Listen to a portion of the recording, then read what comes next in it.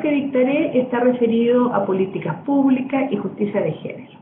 Trataremos diversos temas, vamos a compartir información y propiciar debates sobre las políticas públicas diseñadas e implementadas con criterios de género que son herramientas útiles para impulsar los cambios que son tan necesarios para avanzar en igualdad y equidad de género en nuestro continente.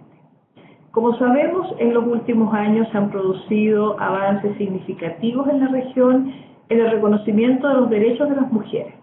Se ha avanzado sin lugar a duda en indicadores y registros que han permitido mejores mediciones y mayor precisión en los análisis, pero al mismo tiempo hemos podido constatar la tenaz persistencia en las desigualdades y de las inequidades de género, que son resultado de barreras materiales, sociales, culturales y políticas, que dificultan en muchos casos e impiden en otros la autonomía de las mujeres. Eh, los organismos internacionales, los movimientos de mujeres y los movimientos sociales en general han señalado con insistencia en las últimas décadas que la autonomía de las mujeres está en el centro de la agenda por la igualdad y el cambio cultural estructural en Latinoamérica y el Caribe, y que sin igualdad de género no habrá desarrollo ni sostenibilidad. Cerrar las brechas de género ya no es pues una demanda solo de las mujeres en pos de la igualdad, equidad y justicia, es también un imperativo económico, político, social que compromete el futuro de nuestras democracias. Flagelos tan importantes como la violencia contra las mujeres se mantienen.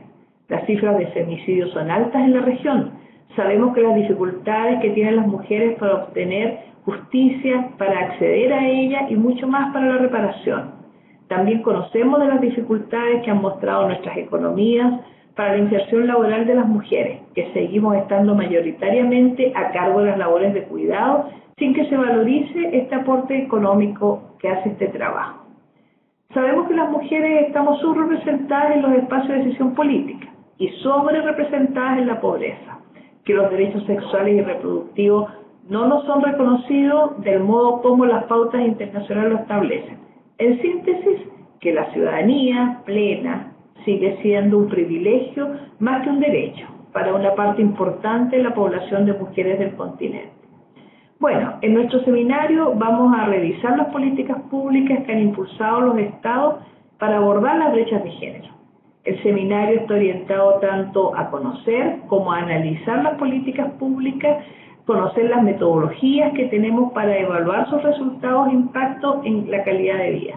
Oye, nos interesa fundamentalmente preguntarnos por la contribución que hacen estas políticas públicas a la justicia de género y a la igualdad sustantiva de las mujeres vamos a tener el seminario de análisis teóricos y conceptuales como también análisis prácticos de casos.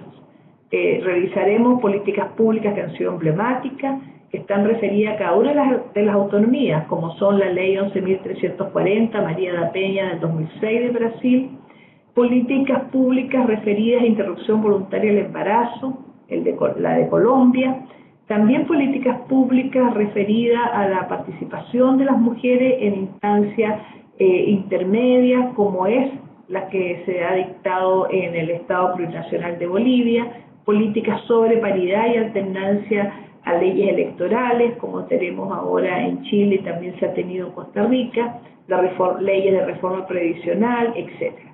nos interesa analizar cómo los resultados están diseñados entre estrategias para atender nuevas realidades, como son la migración y los fenómenos asociados, como es la trata de mujeres.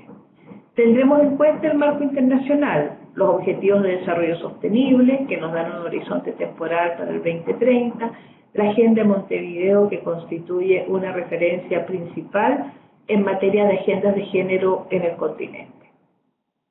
La plataforma virtual de Claxo, que se utilizará para el desarrollo del seminario, permite el intercambio. Con los recursos que ofrece la plataforma se pueden generar espacios de interrelación, clases dinámicas, podremos trabajar en grupo y organizar foros. Esperamos que ustedes que cursarán el seminario sean tan activos y activas como lo han sido quienes han tenido esta experiencia de formación virtual antes. Utilizaremos también una bibliografía actualizada que ha sido seleccionada pensando en su utilidad para el desarrollo de profesionales interesados tanto en el diseño y análisis de políticas públicas para la igualdad y la equidad de género como en su análisis. Recuerden que este seminario se da en el contexto de la especialización y curso internacional en políticas públicas y justicia de género.